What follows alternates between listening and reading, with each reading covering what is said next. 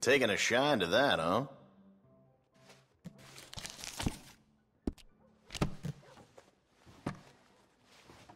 Well, it's always here if you want to take another look.